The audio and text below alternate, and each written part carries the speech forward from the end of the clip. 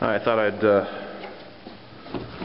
do an unboxing of the Dan Wesson RZ45 Heritage because it's technically called the Razorback, but most people just call it the Heritage. It's a 1911 stainless full-size forged frame since 2009, and it is exceptionally good for the money. Uh, comes with a manual, a coupon for 35 off your next order of double tap ammo, and a the standard uh, gun lock, the cable lock, which I have disposed of in the proper receptacle. And let's just have a look here. So it's very nice. It's got the uh, it's got mostly Ed Brown parts is what I've heard. I'm not sure about that, but you can tell me if you know otherwise. Um, flat mainspring housing, checkered, the standard beaver tail with the the memory bump or the speed bump or whatever. Really nice safety, sort of extended butt plate uh, magazines. Comes with two of those, eight rounds. very smooth. And it's got really nice um, fit and finish.